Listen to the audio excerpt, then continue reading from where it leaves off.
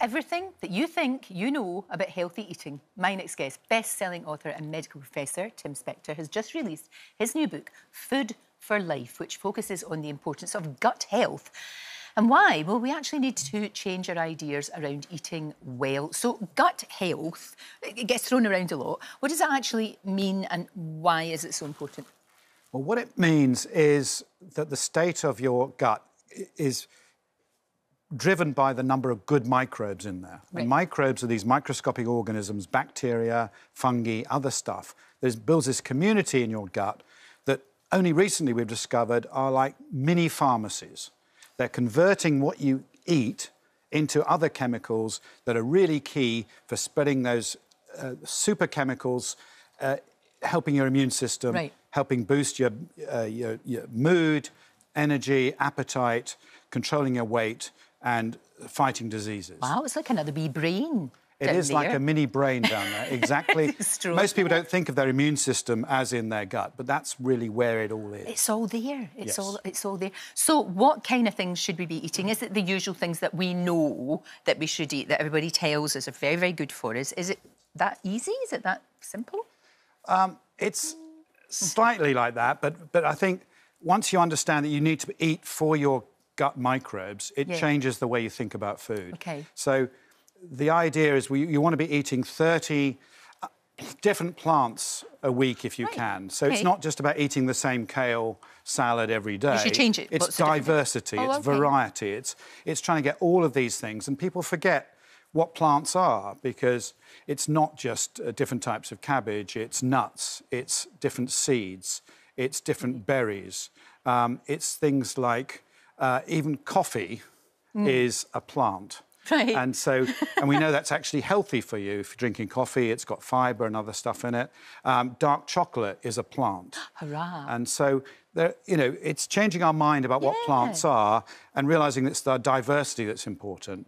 Um, you also got to have fermented foods in there, um, not, you know, not just uh, uh, cheap low-fat yogurts, but good stuff and things like fermented milk, kefir, sauerkrauts, and things like this. Ah. Um, and it's also um, picking foods that are high in colours, eating the rainbow. Well, this is all really colourful. I yeah, like this is great because this tells you that in this plant there's, there's chemicals that make it red that are actually contain defence chemicals that are good for your immune system and your microbes. Right. Okay. So that's why colour's important. Going beige is really bad. Okay, so and then right. and then cutting out as much as possible ultra processed foods, which contain nasty chemicals and very little fibre. And, and finally, giving your gut a break. So, not just what you eat, but how you eat. So, rather than snacking all the time, give yourself 14 hours overnight so your gut can rest and recuperate. Oh, is really important. This is a new type of intermittent fasting. Right. So, so eat your, your, your dinner at night, your tea, as I would call it. Everybody calls it different things. So have that a wee bit earlier and then don't have... Don't you know... snack afterwards. Don't have your sandwiches right. and cake in front of the telly. Um, try and give yourself a, your gut a rest. OK, I never and, thought about that. And delay maybe your breakfast in the morning, you know, so you're not always eating which is stressing your body. And, ah. you know, have good meals, yeah. but have them in a slightly more concentrated time like we used to have. Yeah, exactly. Before food companies told us to eat all these snacks and Indeed. everything else. And then, of course, all those, like, you know, with, as you said, things that are pre-prepared and all of that, they're full of stuff that makes you hungry. Exactly. so they? studies have shown that if you compare ultra-processed food with an equivalent identical calorie stuff, that the ultra processed food will make you overeat by about 20%. Wow. So gosh. it's really important that we, we see that it's not about calories. And, and you know, no. I've got very strong views about calorie counting. I, don't I think, th I don't think it is, do it is rubbish. Yes. 99% of people cannot sustain any weight loss mm. just by calorie counting. We've got to start thinking about the real quality of food. Exactly. and looking at it from a microbe's point of view, it makes it easy to mm. think about what's, you know, what's good for you, and the choices we make every day are, for our food are the most important things we can do for our health as well as the planet. No, absolutely. Now, look, you've got lettuce there and brown bread. Now, I would have thought that that's pretty good to eat. You know, that's, that looks very healthy, but no.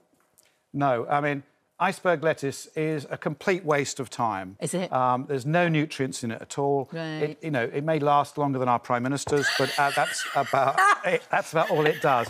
Whereas if you picked a different lettuce with red colours and, and loose leaves, that has a thousand times more nutrients Right, in it. so that is And and if you just pick a, a brown bread without really checking its fibre content, it's just going to be pure sugar and it's not going to help you. So many of the stuff we, we're fooled by, Right. just because it's got some healthy label on it, like low mm. calories, low fat, low sugar, it, we should be ignoring those and, and thinking about what is the, the quality of the food and how good is it Yeah. for our gut health and our microbes. And if we think like that, we can, we can really all be much healthier sustainably.